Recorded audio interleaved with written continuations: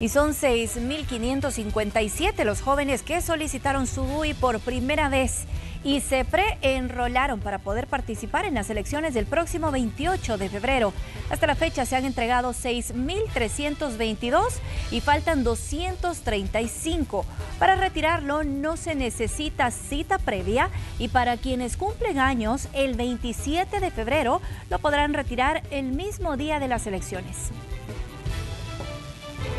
Nosotros hemos dado la facilidad para que los jóvenes puedan ir a retirar su documento a partir que no requieren de cita previa para ir a retirar el DUI. Y lo pueden hacer en e, hoy este día que vamos a trabajar hasta las 6 de la tarde, mañana también, hasta el día 27 de febrero, porque el día 28 Vamos a hacer una jornada extraordinaria, pero solo vamos a habilitar aquellos centros de servicio en los cuales habrán jóvenes que tienen que ir a retirar su documento único de identidad que cumplieron años el 27 o que cumplen años el 27.